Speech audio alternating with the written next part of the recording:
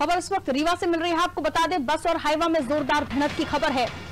दोनों में भीषण आग लग गई, दोनों ही गाड़ियाँ, जिनमें आग लगना बताया जा रहा है। हादसे में एक दर्जन यात्री घायल हैं। पुलिस मौके पर मौजूद है। बचाव कार्य जारी है। घायलों को अस्पताल में भर्ती किया गया है। पनवार थाना क्षेत्र की यह घटना बताई जा रही है।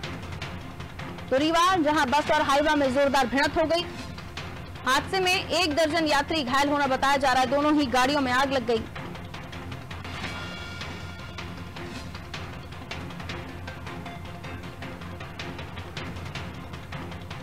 घायलों को अस्पताल में भर्ती किया गया। पनवार थाना क्षेत्र की घटना बताई जा रही है।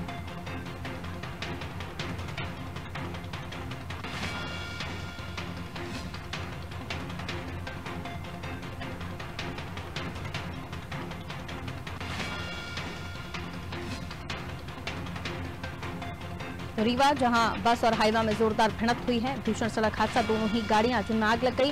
हादसे में एक दर्जन यात्री घायल बताए जा रहे हैं। पुलिस मौके पर मौजूद है। घायलों को अस्पताल में भर्ती किया गया है।